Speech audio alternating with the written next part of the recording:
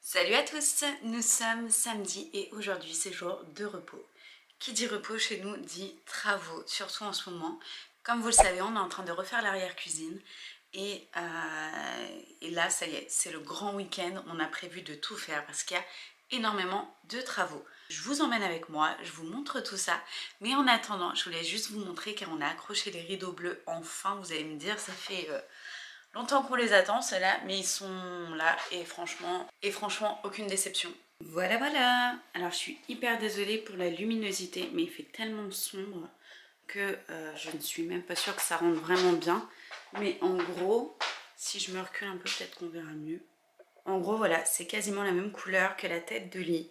Donc on est euh, hyper ravis et franchement, ça change tout. Ça donne vraiment un autre style. Je vais vraiment essayer de reculer. Et en plus de ça, j'ai acheté une nouvelle barre de rideau. La nôtre était blanche, celle-ci est en bois.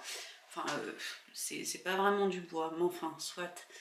Avec les petites boules de corne là, juste trop trop beau. Tout ça, je l'ai eu à Monsieur Bricolage et euh, j'aime trop. Et donc, ceux-là, je me rappelle plus, je les avais achetés où?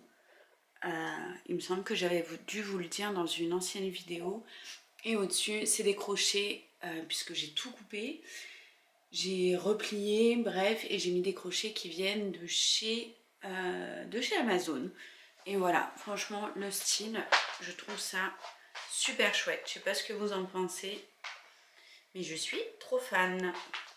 Donc une partie du matériel est ici. Euh, il va falloir qu'on s'occupe et des quarts de rond pour la porte et du lambris. Je vous le dis, il y a du travail. Et donc voilà, pour l'arrière-cuisine, on a tout vidé.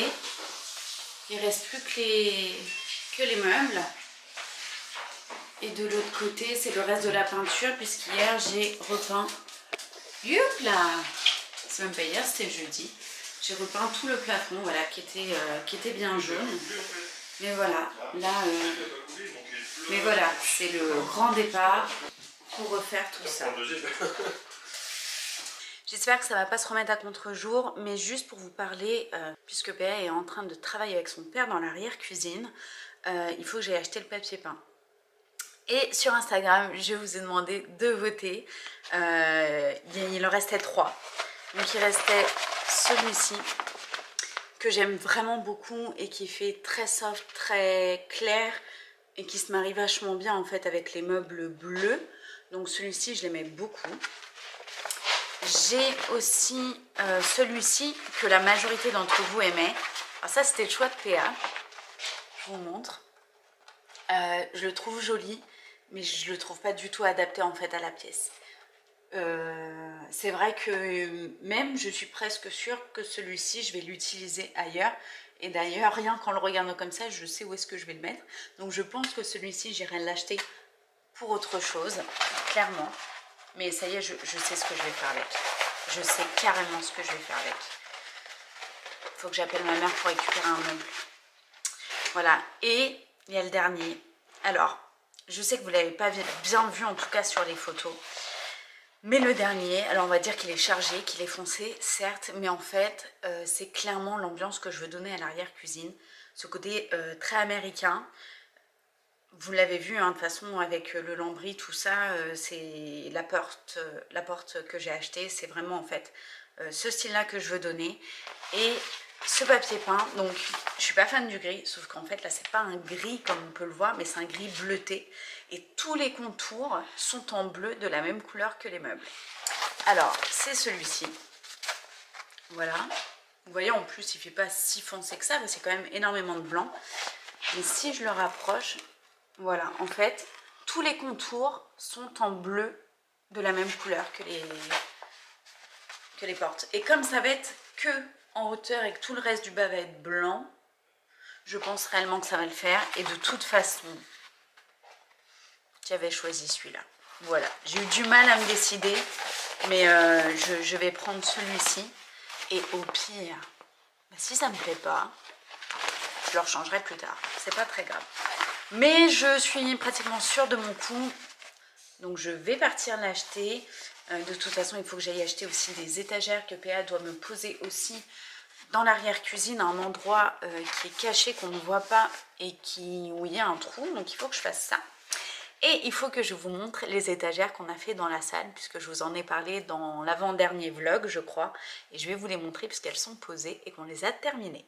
Alors, je ne sais pas si vous vous souvenez, donc là, il y a la télé. Et là, il y a les étagères qu'on a fait du coup avec PA. On vous avait montré un petit peu hein, les planches que j'avais achetées chez Monsieur Bricolage, que j'avais foncé avec euh, du, du, de café. Et franchement, ça a vachement bien marché parce qu'elles étaient carrément plus claires. Et du coup, voilà, j'ai mis euh, des livres de décoration. Euh, ça, c'est le bonsaï que PA a eu à son anniversaire en Lego. Des petites plantes.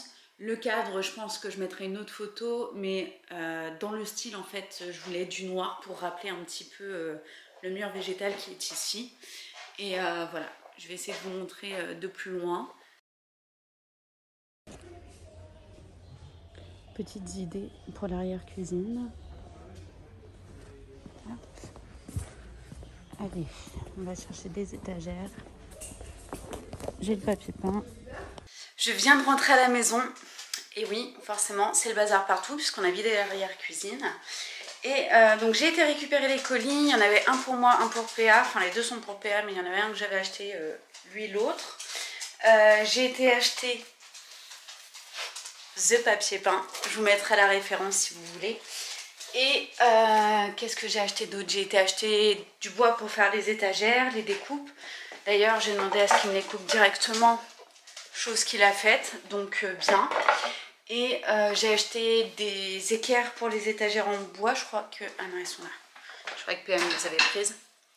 Juste ici. Mais ça, je vous montrerai tout, euh, tout quand on continuera. J'ai fait un plein de courses pour ce soir, puisqu'on était censé avoir du monde. Je sais pas s'ils vont venir, mais c'est pas grave. Ça se garde largement, donc il n'y a pas de souci. Et, voilà, mais il est midi, donc euh, j'ai été aussi acheter ce qu'il fallait pour faire manger ce midi pour le père de PA et euh, pour nous. Et ils ont commencé à faire... Ah, ils n'ont pas fait de l'autre côté. Wow, je vous montre ça. Voilà, donc en fait, pour poser du lambris, il faut, euh, il faut poser des... Alors, c'est pas du tasseau, je sais plus comment ils appellent ça. Mais voilà, ça c'est la première étape. Après, ils couperont les, barres de lambris à pile hauteur. Au-dessus, on mettra une moulure pour finir. Euh, voilà, donc la hauteur, bah, euh, pour vous dire, on est bien à 1m60 facile, puisque c'est presque ma taille. À quelque chose près, on n'est pas loin. Et ils ont fait dessous aussi, puisque tout là, ça va être aussi en lambris. Euh, trop trop bien. Il reste le petit coin là. Après ça, quand on aura enlevé le frigo. Et après, tout ici. Ça va mon bébé? Je vous reprends dans l'arrière-cuisine et euh, je viens de finir de manger. Puis euh, son père termine. Et euh, là, ils vont commencer à s'attaquer à couper tout ce qui est lambris. Pendant que moi, j'ai commencé à faire le papier peint. Et j'adore. Et j'ai hâte, mais je crois que ça va être juste canon. Donc euh, je commence à vous montrer ça de suite. Et voilà ce que ça donne. Donc en haut, il faut penser qu'il y aura une corniche, hein, puisqu'on va faire pareil que dans, la cuisine, euh, les moulures au plafond. Donc euh, voilà, je trouve ça hyper canon. Et c'est pas du tout foncé, hein, contrairement à ce qu'on pourrait croire. D'ailleurs, regardez, hein, c'est beaucoup plus foncé ce mur-là que, que là. Et j'ai commencé à faire le retour. Donc voilà, je suis vraiment très très contente parce que euh, ça rend exactement, je pense, qu'il y avait dans ma tête. Et avec le lambris blanc qui va être posé juste là, ça va être trop beau. Alors, chérie, peux-tu nous expliquer ce que tu fais? Je dessine sur les murs. Je dessine sur- Je dessine sur les murs le nom de ce qu'on Oh aime. bébé. Voilà. Et ça, c'est du traçage de précision de haute qualité, mon ami. De chocolatée. de traçage de qualité. Ou alors là, on est plutôt sur du portugais de qualité. Tu viens de te mettre toute une communauté à dos, tu sais pas les problèmes que tu vas avoir. C'est toi mon problème. Euh, bon, donc pour vous expliquer, cette prise-là ne marche pas. Celle-là ne marche pas. Et du coup, des deux qui ne marchent pas, on va en faire trois qui marchent. C'est ça, hein? Ouais. Trop. En fait, là, on a deux phases. Ça, c'est une terre qui, fait, en fait, au- qui faisait neutre, puisqu'en fait, c'était un neutre. C'était pas une phase. Enfin, c'était branché sur la cam, mais c'était un, neutre. Et c'est bizarre, c'est que là, en fait, on avait deux phases. Et là, on avait deux neutres. Chose qui ne sert strictement à rien. Et, et ça, c'était une terre. Donc, l'idée, c'est de reprendre ça comme une terre. Vu qu'il arrive jusqu'ici, on va s'en servir comme une terre. L'ancienne terre, qui était en fait un neutre, on va s'en servir comme neutre. L'ancienne phase, on va s'en servir. Voilà, à tous ceux qui ont tout compris. En fait, ça, c'était une, c'était- c'était une phase parce qu'elle était branchée à la phase là, alors que c'est une terre. En fait, c'était. Voilà, donc pour ceux qui ne travaillent pas dans l'électricité, on va faire trois prises et rien du tout. Je travaille chez Auchan. Bien sûr. Avec le fameux t-shirt rouge. Et de mon côté, j'ai avancé. Je trouve ça juste magnifique, franchement. Mais avec la porte, c'est un truc de ouf. Je, je trouve ça trop beau. Et donc là, j'en suis ici même. Bon. Et j'ai beau papa qui est en train de recouper ça, puisqu'en fait, euh, ben, comme euh, on m'écoute pas, on est obligé de recommencer. Il y a deux élastiques de chaussettes qui viennent d'exploser. là. On est bien élevé, on a une bonne éducation. Bon, enfin. Donc voilà. Et euh, sinon, bah écoutez, euh, on continue doucement. Forcément, il n'y a pas de lumière puisque PA a coupé l'électricité. Et euh, j'espère pouvoir la finir jusqu'à là avant de continuer le dessus. Il est 15h48 et ça avance trop, trop bien. C'est un truc de fou. Alors ce qui est marrant, c'est qu'on se croit vraiment dans les anciennes maisons. Mais j'adore. Tout ça c'est fait, ça c'est fait, ça c'est fait, ça aussi. Et euh, alors là ça va être plus compliqué parce qu'il va falloir que je fasse là et après tout le dessus.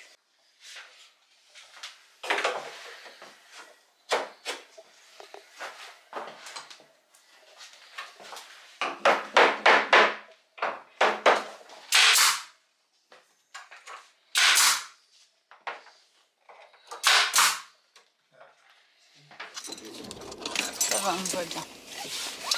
Bon, que je vous explique, il est, euh, il est quelle heure? Il est 18h et là il faut que je parte au magasin parce qu'il nous manque 2-3 trucs pour finir et euh, le souci c'est que demain nous sommes dimanche. Je vais essayer d'allumer.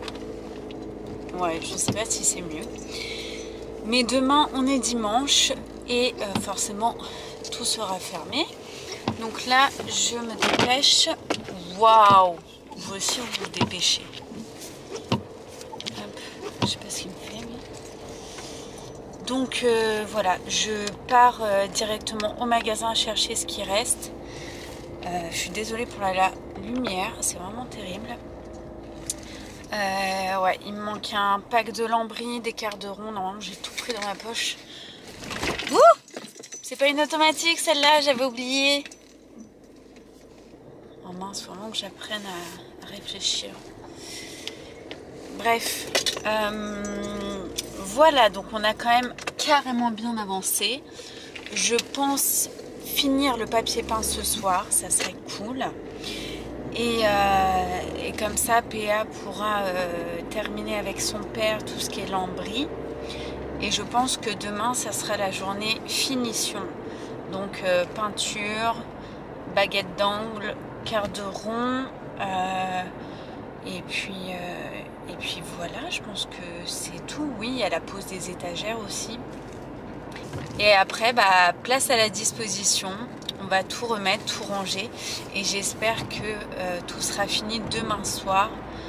Donc je pense vraiment qu'on va devoir attaquer durant toute la journée les travaux pour que ce soit fait.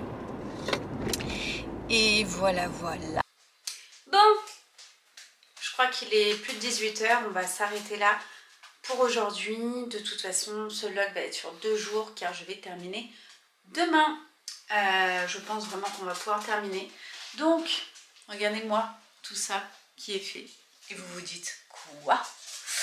Mais, ça va être peint en blanc. Avec petite moulure là. Hop, hop, hop. Non, non, ça va être franchement pas mal. Et euh, punaise, ça change mais tellement. J'ai l'impression que ça... Enfin, bref. Je pense que vous verrez euh, quand on finira tout. Mais euh, ça donne vraiment un- une sensation de cocooning. C'était hyper froid comme pièce. Et euh, je trouve qu'on a vraiment réussi à bien la réchauffer. Donc demain, finition de papier peint, de tout, hein, puisque là il reste encore tout ça à faire. Peinture, les quarts de rond, les... tout, tout quoi. Il y a, pff, il y a encore du taf. hein. Mais je pense que ça sera fini pour, euh, pour ce week-end. Du coup, on se retrouve demain pour la suite. Et vous, bah c'est tout de suite. On se retrouve le lendemain pour la suite des travaux. Euh, je vais vous montrer ce que ça donne en plein jour, que vous puissiez voir un petit peu. J'ai trop hâte de vous montrer, donc euh, on commence tout de suite. Alors forcément, il va falloir imaginer avec la peinture. Mais voilà ce que ça donne. Parce que vraiment, c'est que ça fait très à l'ancienne. Mais je suis trop fan. J'aime trop. Hop. Et alors, avec les avec les meubles bleus, je vous promets quand ça, ça sera blanc, que la moulure sera posée et tout, ça va être juste ouf. Voilà. De te dire bonjour. Tu dis bonjour Bonjour. oh, t'es. Et Loki qui attend sagement pour sortir. Allez, à toutes. Hop là. Regarde mon féfé. Bonjour mon féfé. Ça va mon bébé? Petit bisou. Petit bisou. T'es intriguée par la caméra. Angel, viens faire un petit bisou. Petit bisou à ta maîtresse. Ça, petit bisou. Tu sais faire des... Fifi, fais un bisou. Voilà. Elle sait faire des bisous. Des bisous. Oh oui, des bisous. Bon, euh, comme vous voyez, hein, la cuisine, c'est le bazar. Je n'en peux plus. Donc avec PA, on a pour objectif de terminer aujourd'hui pour que tout soit rangé et propre pour la reprise de la semaine.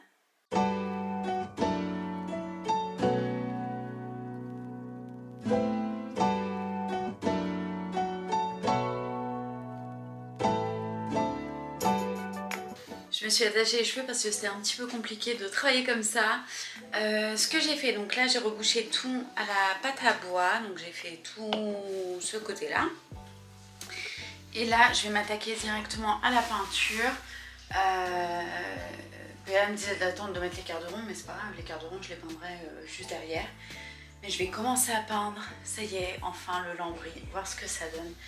J'ai juste trop hâte de voir, donc euh, bah c'est parti, on y va.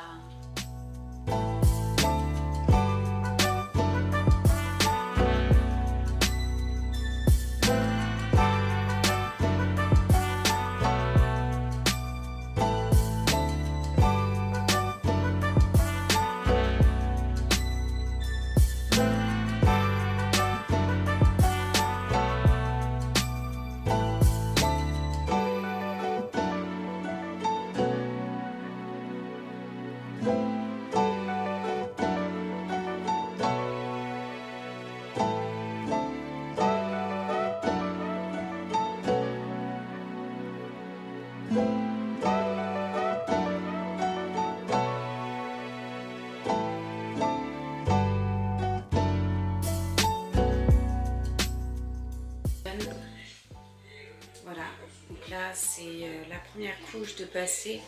Il va falloir mettre tous les quarts rond, les barres d'angle, la moulure sur le dessus qui va terminer.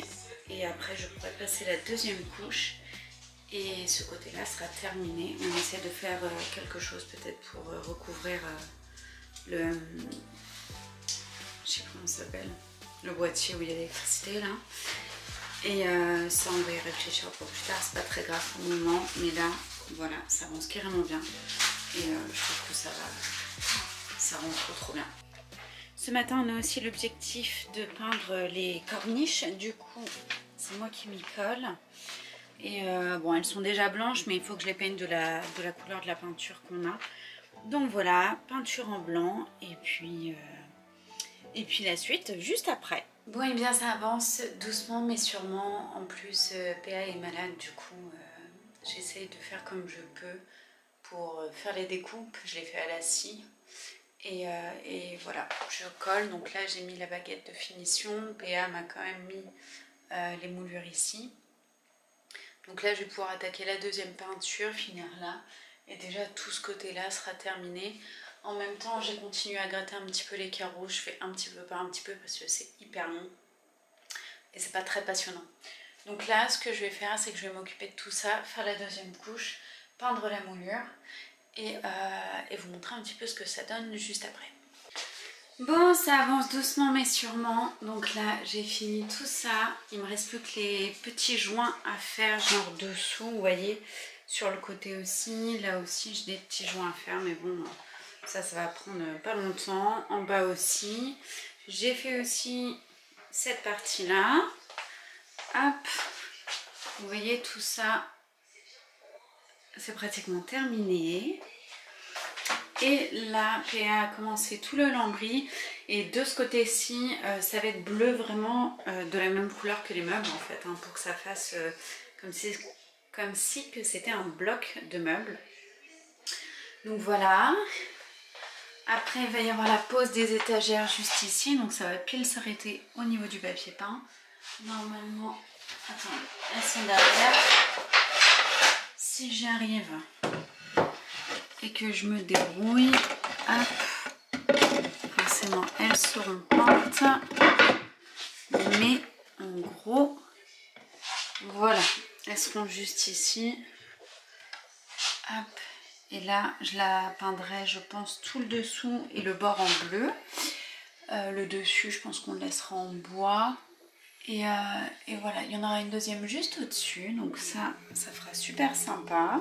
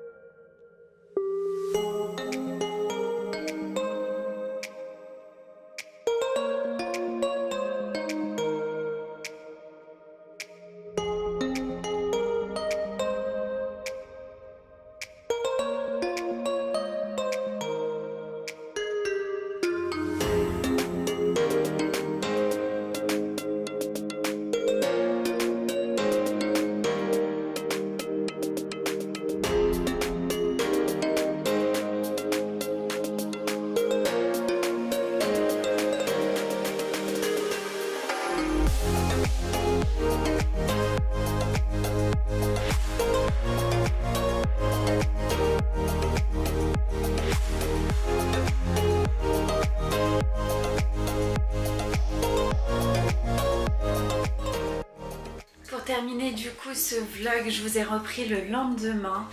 Et euh, voilà, je vous fais vraiment un petit tour pour vous montrer ce que ça donne. Effectivement, il va manquer les corniches au plafond euh, que j'essaierai de faire prochainement. Mais en globalité, à part des mini finitions, on a vraiment tout terminé.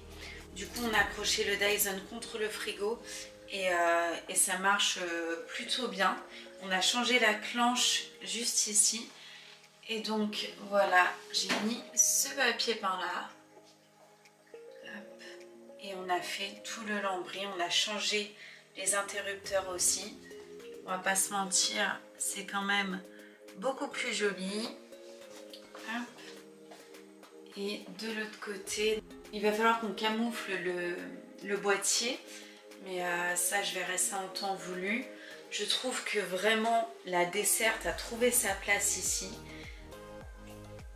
Et il nous manque vraiment que quelques finitions, mais en partie, euh, vraiment c'est terminé. Juste là aussi, il me manque quelques finitions. Euh, mais, euh, mais voilà, on est franchement content du résultat. Ça change complètement le avant, le après, n'ont absolument rien à voir. Et, et on est vraiment très content. Donc là après c'est vraiment l'organisation et la décoration qui va manquer. Mais je ferai ça en temps voulu.